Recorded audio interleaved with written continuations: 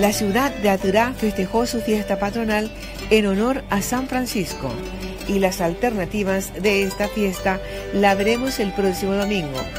Pero en el marco de los festejos se realizaron varias actividades de las que nos informa Richard Lovera. Bueno, se viene a lo grande los festejos, intendente.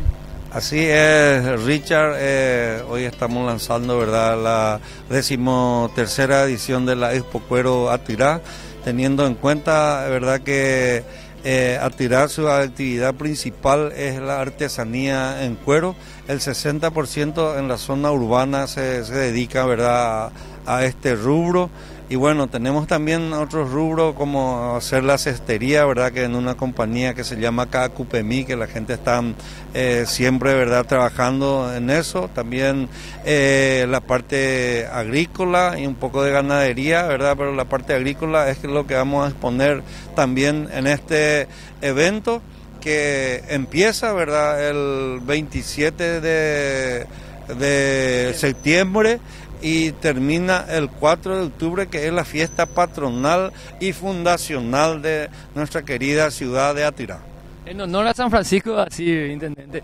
También queremos eh, destacar un poco una de las expos más grandes de Cordillera. Los artesanos pueden exponer su producto porque los stands están sin costo para ellos.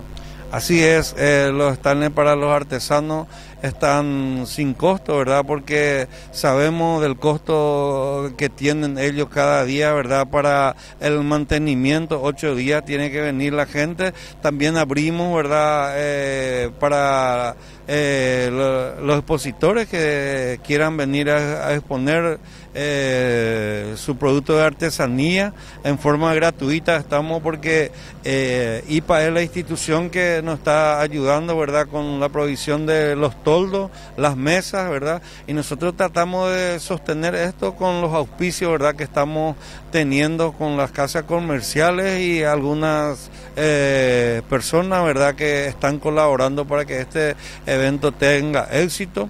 Eh, tenemos una comisión, eh, una coordinadora que está trabajando en esto, la municipalidad también está apoyando, la asociación de artesanos también son los organizadores, entonces nosotros estamos cooperando, ¿verdad?, para que esto tenga el éxito de siempre.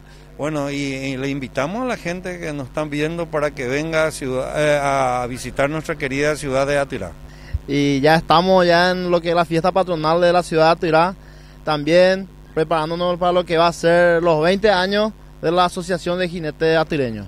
Nosotros estamos acordes ya como jinetes, gracias a Julio César eh, Maidana por la artesanía también, estamos presentando así la tradición paraguaya, está de fiesta aquí en la ciudad de Tirá.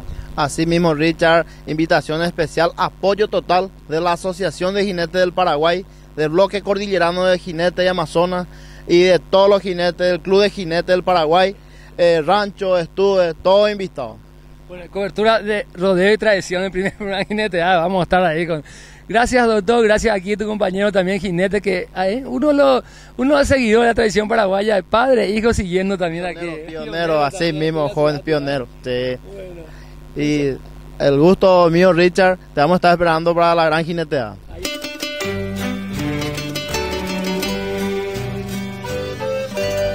y ahora compartimos con ustedes las actividades de la cooperativa 8 de marzo limitada.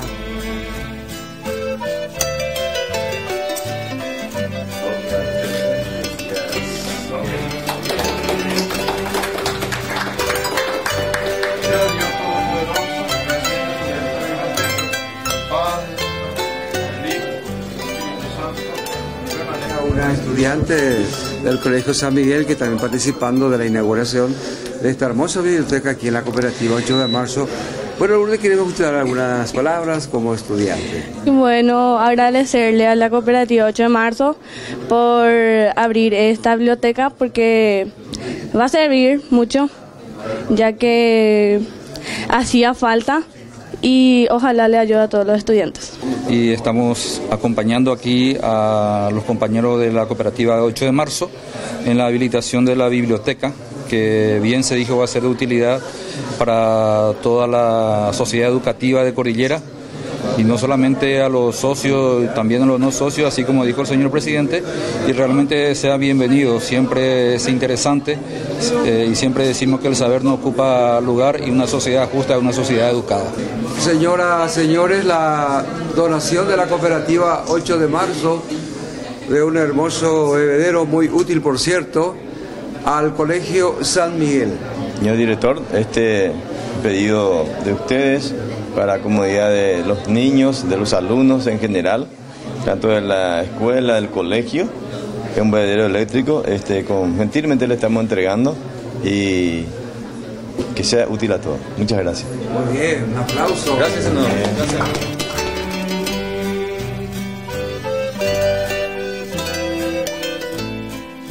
Como sanjosiano, ¿verdad? yo estoy muy apenado de lo que ocurrió, venimos a darte fuerza como gobierno municipal.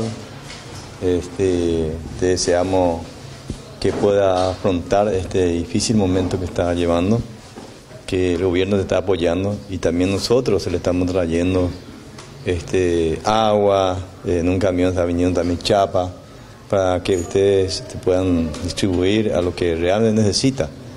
Porque este, ustedes saben, eh, levantaron relevamiento, mil viviendas, mil familias más o menos afectadas en este momento. Allá no podemos contar, no podemos decir este es colorado, este es liberal, todo por igual, la ayuda tiene que llegarle a todos, ¿verdad? Y le traemos la fuerza necesaria para que pueda afrontar este momento difícil. Gracias, y estamos a tu lado, estamos a tu lado, no, no dude en pedirnos apoyo y ayuda si necesita más.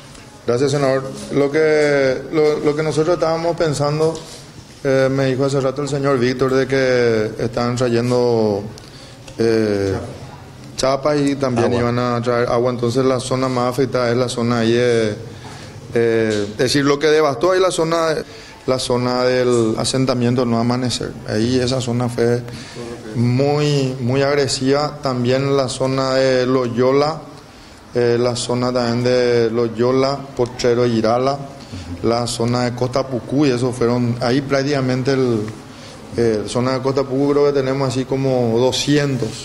Y esta es la primera etapa, la primera etapa que estamos trayendo la, la- ayuda. Luego vamos a ir por instituciones, porque hay problemas graves en San José de los Arroyos. Así es que, señor intendente, mi acompañamiento a su gestión, también a todos los personales de la cooperativa 8 de marzo que me acompañan, le, le pido que, que todos nos pongamos la camiseta como sanjosianos, como hijos, sanjosianos y acompañemos todos juntos este momento difícil que pasa nuestra ciudad.